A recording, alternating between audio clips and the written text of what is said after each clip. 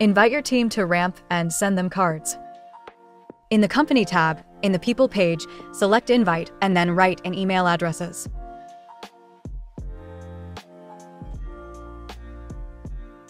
Then choose a role for each person. You can choose employee, admin, guest, and if you select the drop-down, there's additional roles like bookkeeper, AP clerk, and more. Now in Funds, select Assign Funds.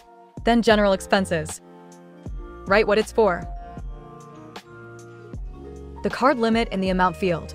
Select the frequency that the card limit resets.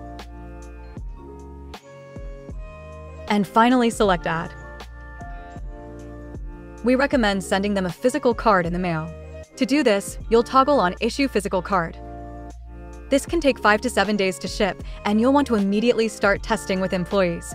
Invitees must give Ramp their shipping address for the card to be issued, but they can use virtual cards while they wait. Next, you'll add the department and manager. If there are no users as managers, this will default to admins for review.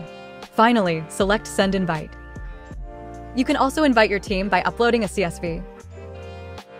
Make sure you use the template.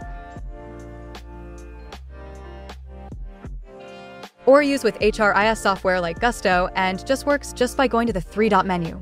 Connect directory and selecting the directory. Invite your team and send them physical cards.